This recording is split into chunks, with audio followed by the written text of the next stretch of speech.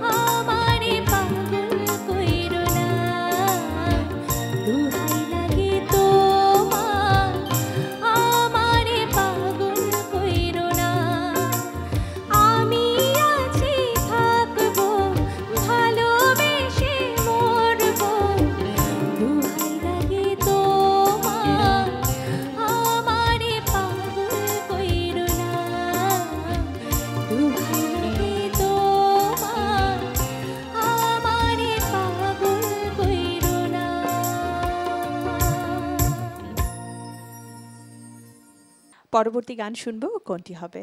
এখন গাইব শ্রদ্ধেয় শিল্পী আশা ভোসলের গাওয়া কোন শিয়ালুর স্বপ্ন নিয়ে? শুনব।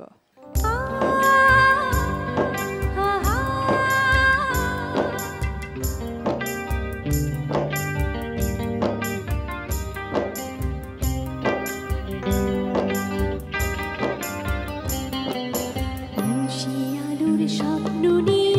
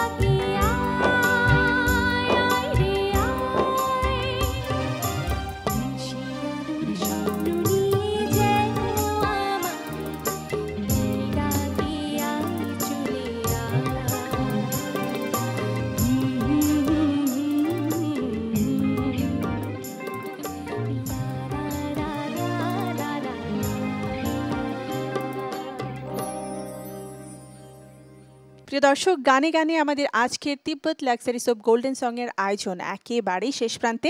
আমি শান্তা জাহান আজকের মতো বিদায় নিচ্ছি। দেখা হবে আবারও আগামী পর্বে। নতুন একজন শিল্পীর সাথে আরও ভালো, জনপ্রিয় কিছু গান নিয়ে। সে পর্যন্ত আপনারা সবাই ভালো থাকবেন, সুস্থ থাকবেন। আল্লাহ হাফেজ।